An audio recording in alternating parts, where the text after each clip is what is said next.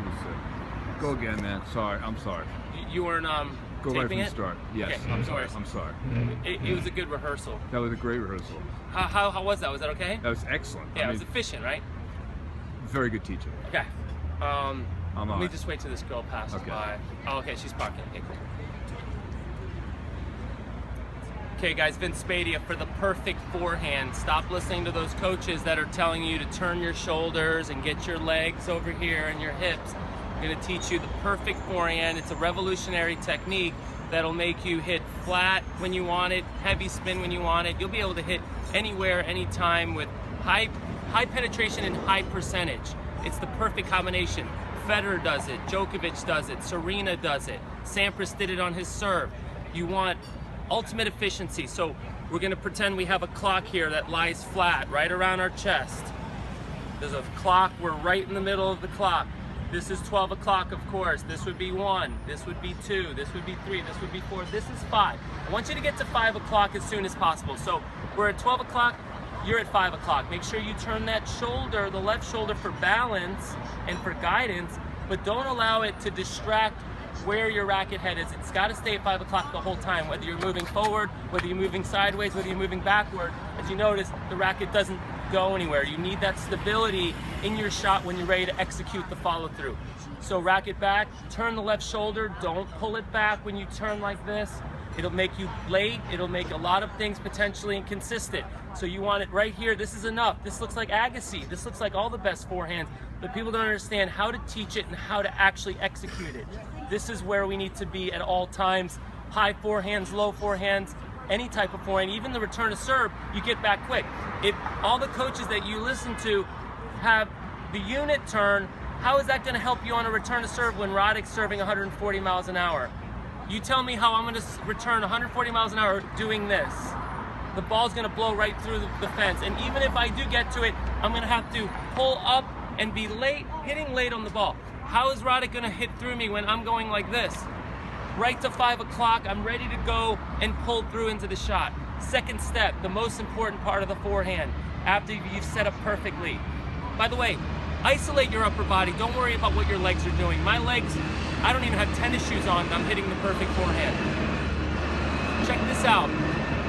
Make sure, without moving your legs, a lot of people go, okay, let me turn, Vince, and they turn their whole body.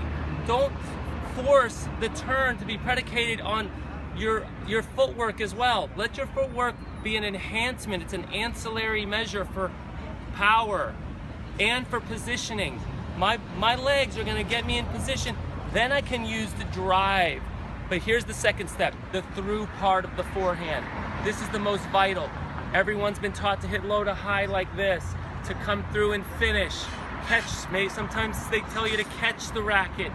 This is all wrong. This needs to be penetrated through. The racket head goes through in a straight line, and what that does, it causes all those great elements that your coach talks about. Keeping your head on, your chin, your eyes are still, your left side stays intact. But it's all predicated because the focus is on the racket head going through in a straight line. This is the most vital part. Everyone pulls out of their shot er, because people are teaching them to finish this way. Hmm. They tell they tell them to keep their head on the ball. That doesn't guarantee me any extension. What you get when you start following through perfectly on this forehand, you extend the arm. Here I am in a street shirt extending my arm, and then at the last minute, you flip the wrist over. But look at how extended my arm is when you flip the wrist over. This is where you get the actual spin.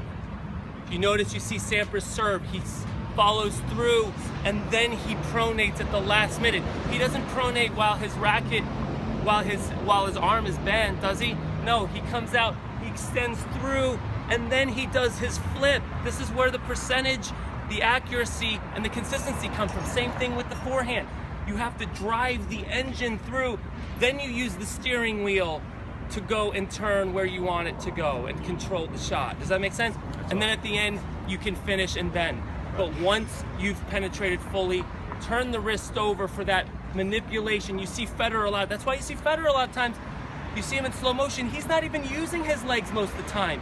He's him and Nadal are straight with their legs, but the racket is extended perfectly, and everyone talks about how he keeps his head on the on the ball, but that is not the priority. He doesn't even think about that. He gets his racket head through, and subsequently, my head has to stay on the ball. He flips over, and if you notice, he finishes right by his shoulder. He doesn't finish behind, up high, like the coaches say. He doesn't flip over and smother the ball either, which is not what we're saying.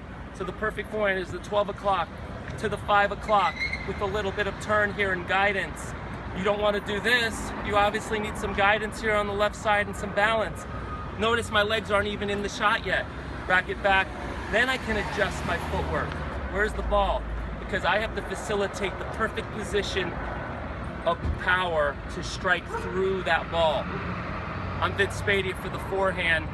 We're gonna have more videos on breaking down and isolating each one of these entities, but that was a little bit of the elevator speech on how you're gonna have the best forehand, unparalleled.